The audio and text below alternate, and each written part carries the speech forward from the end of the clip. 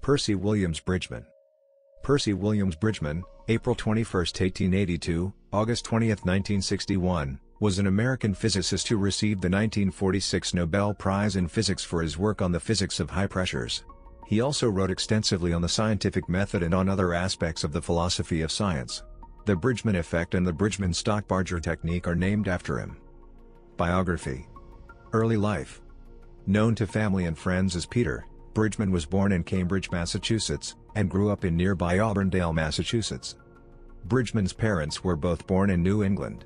His father, Raymond Landon Bridgman, was profoundly religious and idealistic and worked as a newspaper reporter assigned to state politics. His mother, Mary Ann Maria Williams, was described as more conventional, sprightly, and competitive. Bridgman attended both elementary and high school in Auburndale, where he excelled at competitions in the classroom, on the playground, and while playing chess. Described as both shy and proud, his home life consisted of family music, card games, and domestic and garden chores. The family was deeply religious, reading the Bible each morning and attending a congregational church. However, Bridgman later became an atheist. Education and professional life Bridgman entered Harvard University in 1900, and studied physics through to his PhD from 1910 until his retirement. He taught at Harvard, becoming a full professor in 1919. In 1905, he began investigating the properties of matter under high pressure. A machinery malfunction led him to modify his pressure apparatus. The result was a new device enabling him to create pressures eventually exceeding 100,000 kgf/cm2, 10 gigapascals, 100,000 atmospheres. This was a huge improvement over previous machinery, which could achieve pressures of only 3000 kgf/cm2, 0.3 gigapascals. This new apparatus led to an abundance of new findings, including a study of the compressibility, electric and thermal conductivity, tensile strength and viscosity of more than 100 different compounds.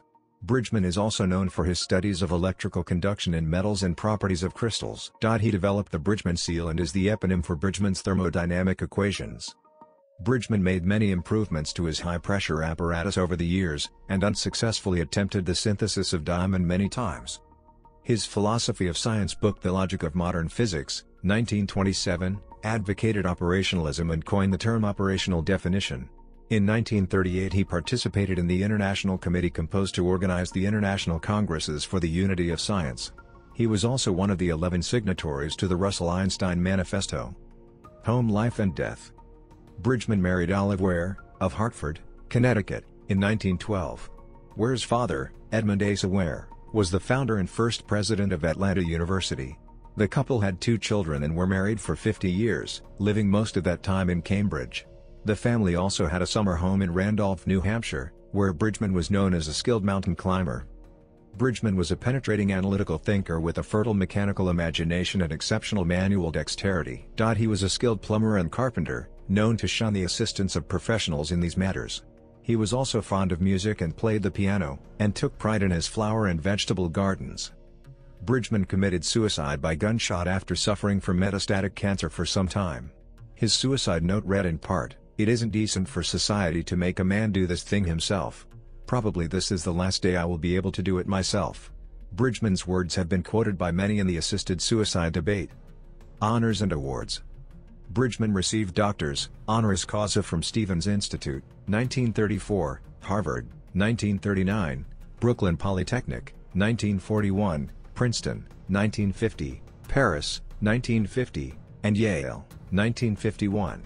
He received the Bingham Medal, 1951, from the Society of Rheology, the Rumford Prize from the American Academy of Arts and Sciences, 1919, the Elliott Cresson Medal, 1932, from the Franklin Institute, the Gold Medal from Bakhuis Roozeboom Fund, founder Hendrik Willem Bakhuis Roozeboom, 1933, from the Royal Netherlands Academy of Arts and Sciences, and the Comstock Prize, 1933, of the National Academy of Sciences. Bridgman was a member of the American Physical Society and was its president in 1942. He was also a member of the American Association for the Advancement of Science, the American Academy of Arts and Sciences, the American Philosophical Society, and the National Academy of Sciences. He was a foreign member of the Royal Society and honorary fellow of the Physical Society of London. The Percy W. Bridgman House, in Massachusetts, is a U.S. National Historic Landmark designated in 1975. In 2014, the Commission on New Minerals, Nomenclature and Classification, CNMNC, of the International Mineralogical Association, IMA, approved the name Bridgmanite for perovskite structured, Mg, FeCO3, the Earth's most abundant mineral, in honor of his high-pressure research. Bibliography of his high-pressure